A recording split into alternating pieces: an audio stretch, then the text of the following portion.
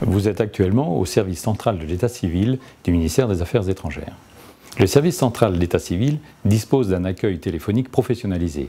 Si le nombre d'appels téléphoniques est important, c'est surtout la qualité des appels qui sont pour nous primordiaux. Alors sur ce dispositif, nous avons un plateau d'une dizaine de personnes qui répondent matin et après-midi à l'ensemble des questions de nos postes en particulier, mais également des Français en métropole. Quotidiennement, nous recevons entre 500 et 600 appels qu'il faut traiter. On continue. Alors, qui appelle Ce sont surtout les usagers que nous avons en métropole. Euh, nous avons environ 5 millions d'usagers, 80% sont en France, et nous avons euh, à l'intérieur beaucoup d'appels aussi de professionnels du droit, qui peuvent être des notaires, qui peuvent être également les préfectures et les mairies.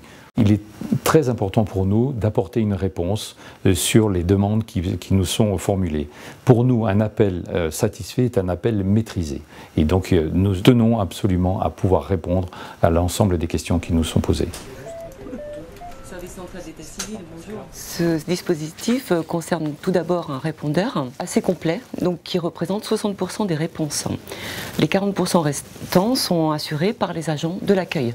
Donc très souvent, c'est pour euh, une demande de suivi d'acte, parce que beaucoup d'administrés font leur demande par Internet c'est beaucoup plus rapide et c'est gratuit. Et s'ils n'ont pas dans un délai euh, relativement court, parce qu'ils sont toujours impatients de l'obtenir, ils nous appellent pour savoir où en est la demande, ils ont un numéro pour ça. L'accueil téléphonique, ce sont des agents qui ont une très grande connaissance déjà de l'état civil et une, des compétences euh, diverses et variées pour pouvoir répondre dans un temps relativement concis pour donner une, une réponse à l'administré ou voir l'orienter. Donc depuis 2015, on a été appelé à former environ 150 personnes. On fait des jeux de rôle pour mettre les agents à l'aise. Ils viennent à la cellule d'accueil où ils sont mis en situation avec les agents experts.